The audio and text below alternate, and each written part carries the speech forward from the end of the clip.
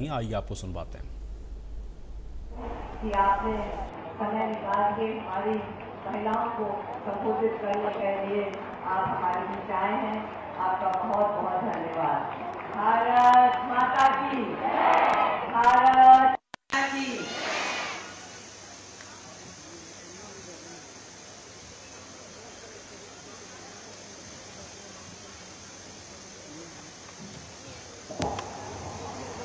मेरी माताएँ और बहनें आप सबसे मेरा निवेदन है कि एक बार दोनों हाथ उठाकर भारत माता का जयकारा लगाएँगे। बोलिए, भारत माता की। भारत माता की।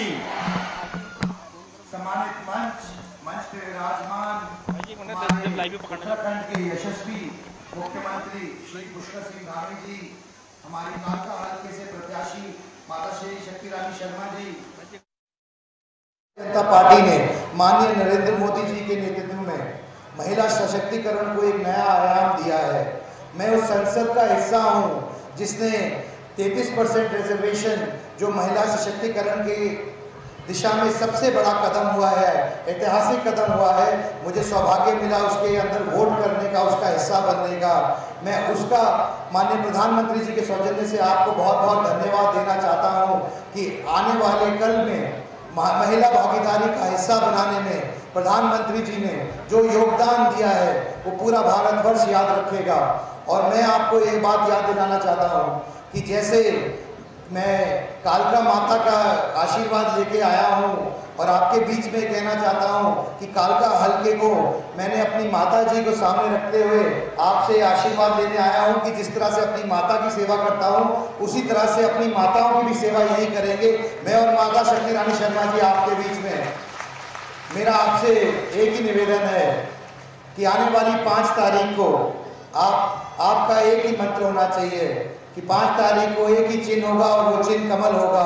और आप जो शक्ति देंगे माता शक्ति रानी शर्मा जी को, उसी शक्ति से माता शक्ति रानी शर्मा जी और मैं, जो बात मैं हमेशा कहता हूँ, मिलकर कालका हल्के का विकास करेंगे, आप लोगों के लिए काम करेंगे। और आप वोट तो एक एमएलए की देंगे पाँच तारीख को, आपको एक सांसद फ्री में मिलेगा, मुफ़्त मिलेगा साथ में। तो मैं बहुत ज़्यादा समय ना लेते हुए आप सबका पुनः धन्यवाद करते हुए सिर्फ़ एक बात बोलना चाहता हूँ, क्योंकि हमारी माता हमारे लिए पूजनीय होती है, सर्वश्रेष्ठ होती है।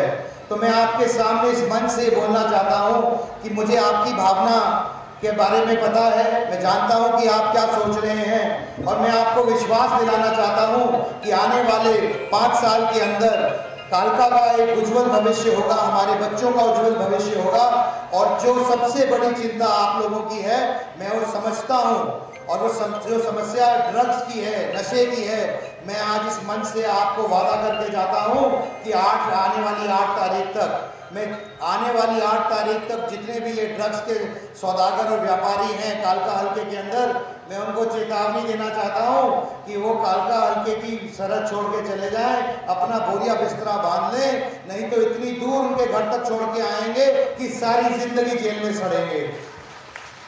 मैं आप सबका पुण्य धन्यवाद करते हुए एक बार फिर भारत माता की जय करते हुए हरे, जय हरियाणा।